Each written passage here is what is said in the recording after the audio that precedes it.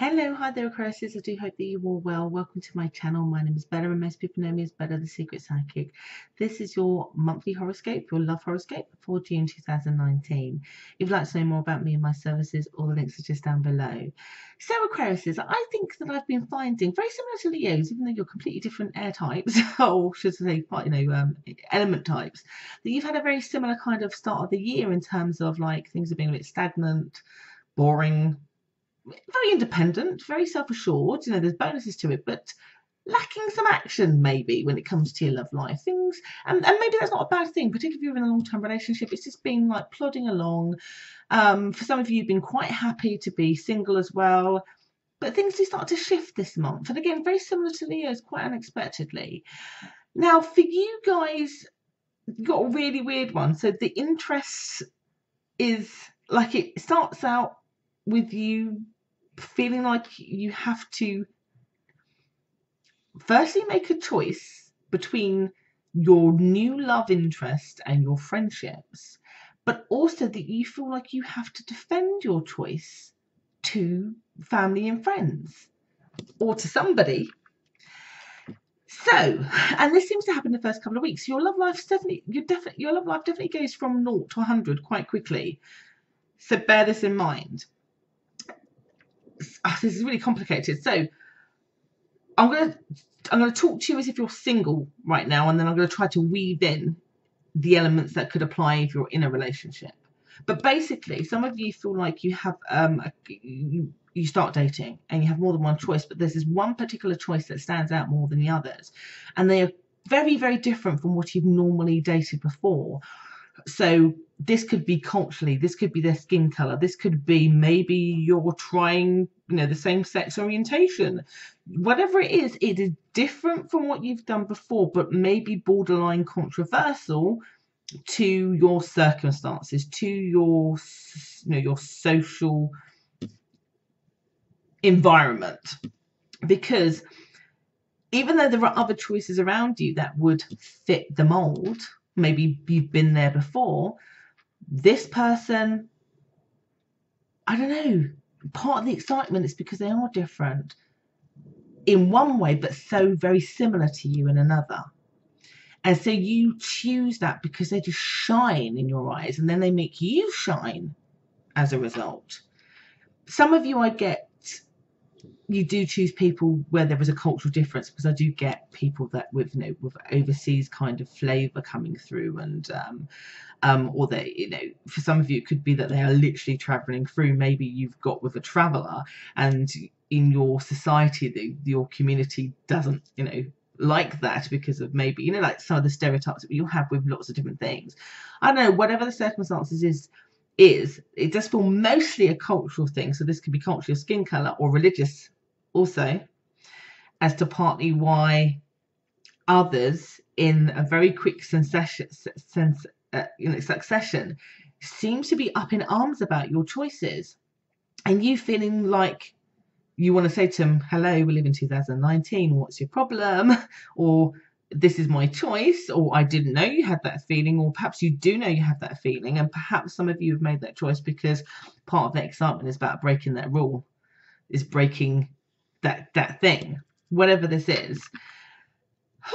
it feels very, very much like the first couple of weeks. You meet somebody, you make a choice about this person quite quickly for all the right reasons. But then as soon as you do, and you're like, hi, let me meet, you know, please meet Joe. And maybe Joe is a six foot transvestite. and all your friends are just like, no, you can't do that. Or you know, maybe you're you're black and you're going out with somebody white for the first time, and your black friends are like, no. maybe you're Catholic and you're going out with somebody who's Muslim, and your family are like, no. Whatever this is, I'm just giving examples. Seems to really upset others around him. And it could be also because I'm trying. I'm thinking of you know what I I call them extreme examples, but really they're not extreme, but they seem to be extreme to other people. Um, it could be simple as you are getting with a married man or a married woman, and therefore the judgment is because you're with somebody and it's breaking a relationship up. There is a judgment, whatever it is, on your set of circumstances that comes really quick. So like you meet them, you made the decision, and then boom, you know, it goes into chaos. So you go from, you know, stagnant, boring, not a lot's happening, to you're finally with somebody, or there's finally improvements in your existing relationship and then as soon as you're happy, others don't seem to be. And then you get unhappy because they're not happy for you. So again, you could be in a long term relationship and maybe you like somebody else outside of your relationship, and you go off. That could be the reason.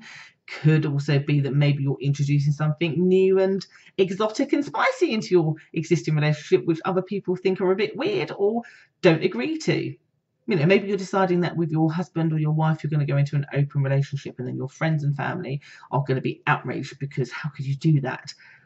It's, do you see what I mean? There's something that rocks the boat, upsets people. They want to have an opinion about it, and you're like, why can you not just be happy for me? I'm happy about this decision. Why can't you be?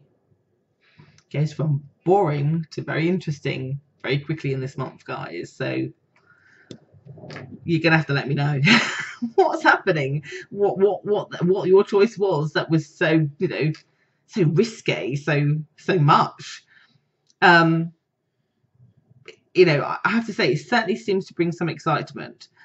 The trouble is is where i get a lot of people quite quite suddenly muddying the water it does get you to in the th- third week in particular because they're not stopping they're going on about it that it get does get you to judge your own decisions um, and about whether you can trust your intuition or something or trust your choice because it feels like what other people are saying is is is is is getting to you to the point where you're just like are they maybe they're right